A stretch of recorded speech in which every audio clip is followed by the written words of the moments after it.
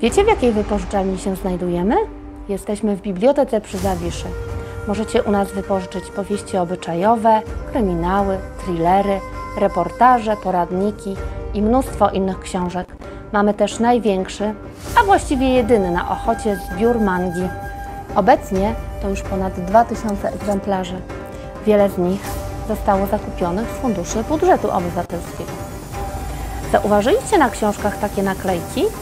To właśnie oznacza, że zostały zakupione ze środków budżetu obywatelskiego. W tym roku także możecie głosować.